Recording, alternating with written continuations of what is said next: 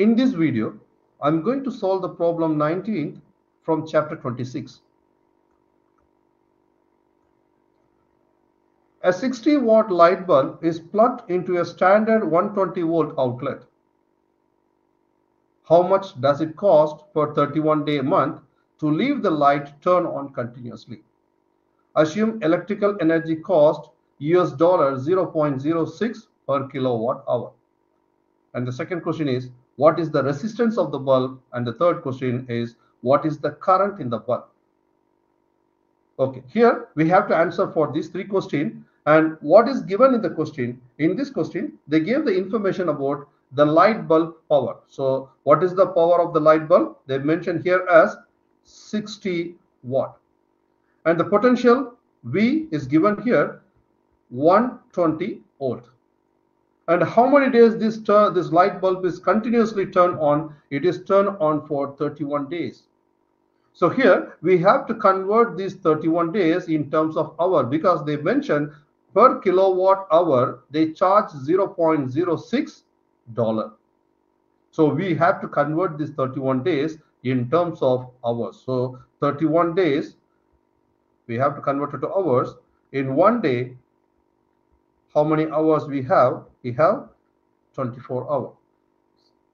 So we can cancel this day with day. If you multiply 31 with 24, we got the answer in terms of hours as 744 hours and also better we convert this watt in terms of kilowatt because we are going to calculate the amount. So for that we have to convert this watt in terms of kilowatt. By that the calculation will be very easy. So if you convert this 60 watt in terms of kilowatt we can write this value as 0.06 multiply 10 power 3 watt so which is 0.06 kilowatt right now we are going to calculate how much it will cost if you turn on the light bulb continuously for 31 days.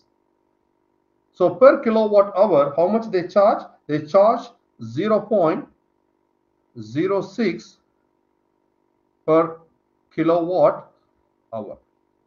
And how many days it is running in terms of hours? 744 hours it run continuously. It is turned on continuously for 31 days. So 31 days is exactly equal to 744 hours. And also, what is the power? The power of the light bulb. Here we have to convert, we have to use this value in terms of kilowatt. By that, we can cancel this kilowatt with this kilowatt. So the power of the light bulb is 60 watt. So if you convert this 60 watt in terms of kilowatt, which takes the value of 0.06 kilowatt. So we can cancel this kilowatt with this kilowatt. We can cancel hour with hour. So when you multiply all these, we will get the answer for the first question. If you multiply 0.06 with the 744 and also multiply with the 0.06, we got the amount value as 2.68 dollar. So if you continuously turn on the light bulb for 31 days, they charge 2.68 dollar. So this is the answer for the first question. And for the second questions we are going to calculate what should be the resistance of the bulb. So for that we have to use the formula and we have three formulas for the power calculation. Power p is equal to current multiplied by voltage.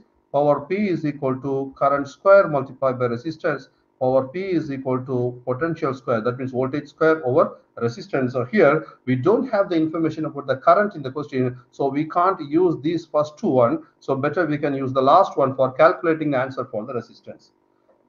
Power P is equal to potential square over resistance. If you rearrange this equation in terms of resistance, resistance which is equal to voltage square over power and voltage they mentioned in the question as 120 volt, right? So 120 the whole square over and the power they mentioned as 60 watt and when you just divide 120 square with 60 we got the answer for the resistance which is the answer for the second question. So we got the answer here as 240 ohm. So this is the answer for the second question. And in the third question, we are going to calculate what is the current in the bulb. What is the current in the bulb. For this, I'm going to use either the first formula or the second formula. So both will give the same answer. So better I'm going to use the first equation. So for the third question, I'm going to use either you can use first one or second one. So here I'm going to use the first one. Power P is equal to current multiplied by voltage. Therefore, current is equal to power over voltage and the power is mentioned as 60 watt and the voltage here they mention as 120 you can cancel the 0 with 0 by that we get the answer for the current here as 0.5 ampere.